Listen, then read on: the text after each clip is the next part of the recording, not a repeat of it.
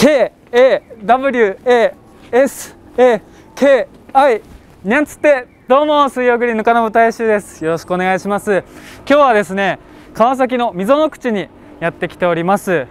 川崎市のふるさと納税の返礼品のテーマっていうのはですね見る体験する味わうこの3つなんですがそれがなんか面白いことになってるそうなんですね、まあ、僕はあの以前のロケでですね川崎市の香りを、まあ、ロケ行ってきてるんですが今日はなんと味らしいんですよ。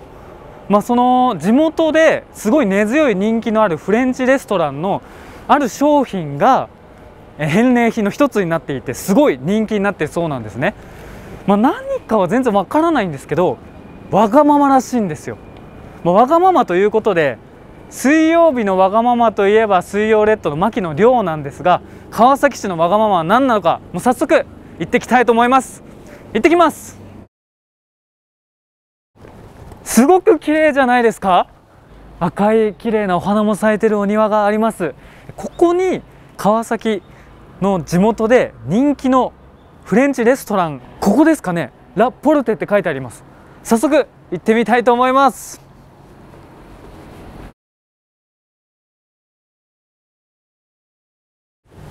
こんにちは。あ、こんにちは。私、猫の額ほどワイドの水曜グリーンの金本大衆と申します。あ、どうも。こちらのお店はフレンチレストランのラ・ポルテさんで合ってますか。あ、はい、そうです。本当ですか？ありがとうございます。あのこちらに川崎市のふるさと納税の返礼品の人気な商品があるっていうふうにお聞きしてるんですが、これですか？こちらですか？あ、そうかもしれないです。わがままないちごバターっていうわがまま出ました。わがまま。あ書いてありますねここにも。いちごをペーストにしたものに、はい、バターを練り込んだ商品になります、はい、へえ初めて。こちらこのいちごバターのなんか特徴みたいのってあったりするんですか？そうですね、まあ、お菓子とか、そういったものに食べられるようにちょっとデザートにもなりますし、はい、朝食とかでも食べられるような酸味とか甘みとかがある。パンに塗ったりして食べるってことですか？へえ、はい、すごい。美味しそうですね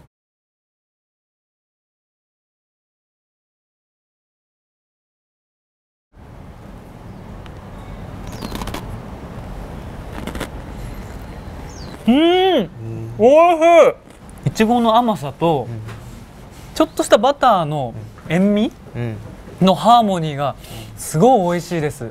これまんまいちご入ってません？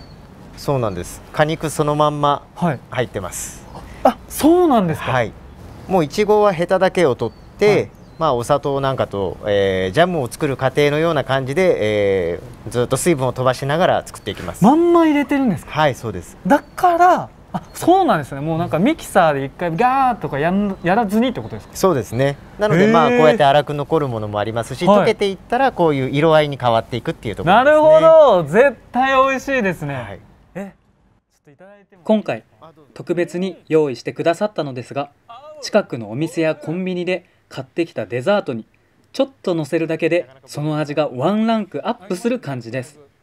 いちごの香りが本当にすごいんですめっちゃ上品になりますね。あいいですか？こちらもいただいて、はい、川崎市ふるさと納税の返礼品は見る体験する味わうそれぞれの分野で魅力的な返礼品が300以上揃えております、えー、例えばえー、幸区の音響メーカーファイナルの完全ワイヤレスイヤホンだったりあとはそうですね川崎初の、えー、水族館川水のペアチケットなどなど魅力的な返礼品たくさんご用意しておりますのでぜひ、えー、川崎市ふるさと納税で検索してみてください。ちょちょちょちょちょっと待ってください。はい。お店の方じゃないですよね。そのわがままいちごのバター美味しかったですよね。え完全する。なんでわがままが気になりませんか？あ気になりめちゃめちゃ気になります。あちょっと待ってください。気になりますよね。はい気になります。あじゃあ、はい、このわがままないちご作ってるところ、農園、川崎市にあるので。あそうなんですか、はい、今から行ってきてください。え今から行ってくるんですか？はい、今から。あのー、ちょっと待ってください、あの連絡。というわけで住宅街にやってきてます。いや川崎にそもそもいちごがあるのかっていうところプラスこんな住宅街のところにいちごが本当にあるんですかね？これこれもしかしてビニールハウスですか？こんな住宅街のところにビニールハウスがあるすごいすごいすごいすごい。農園書いてありますね。いちご見つけました。こんにちは。こんにちは。はじめまして。はじめまして。あのここに、はい。あいいですか？入っちゃって。大丈夫ですよ。大ですか？わがままなはい。いちごがあるっていうふうにお聞きして来てるんですけど、はい。ここで合ってますかね？大体合ってます。あ大体合ってますか、はい。大体ですか？大体ですね。周り住宅街なので、はいはいはい。こんここにあるのかっていうそう皆さんやっぱそう思われる方ですよね多いですよね。はいはい。わがままないちごって、うんなんでわがままなんどんないちごなんですか？そしたらハウス入った時にはいどうどうでした？あったかかったあですったかいでしょ？そうです外はい寒いでしょ？寒いです中あったかいじゃないですか。はいそれでまああのー中にも風を送ったりとか、はいここからはあのミスト出たりとかね、はいあのーまあいちごが一番過ごしやすい環境をまあ作ってあげてるよと。なるほど。はい。でまあいちごのわがままを叶えて。はい。でまあお客さんだったり僕らのねはい。美味しいいちごが食べたいっていうわがままを叶えてもらうみたいな。いろいろないちごとあの僕たち食べる側ののわがままも全て含めてのわわががままいちごなんですね。なるほどですね、はい、はい。めっちゃすっきりしました。すっきりした？はい。ありがとうございます。えい。取れました 美味しそ四つ星っていう品種ね、うこれ四つ星っていう品はい種なんですね。まあ、最近出てきた品種なんですけど、はい。あの甘みと酸味のバランスが良くて、はい。で実がしっかりしてる。はい。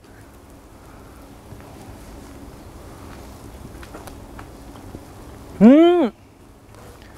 おい。甘い。四つ星そうなんですね。すごい甘いです、うん、ありがとうございます。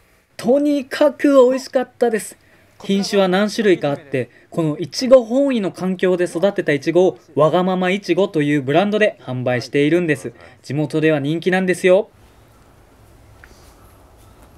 うん。全然違う美味しい。またこだわりのいちごを使って手作りしたジェラートもふるさと納税の返礼品になっているんです。最高に美味しかったです。めちゃめちゃ濃厚です。ジェラートなのにすごいふわふわしてる視聴者の皆さん川崎のいちごはわがままだけど美味しかったです。川崎市の返礼品ぜひチェックしてみてください。バイバイ。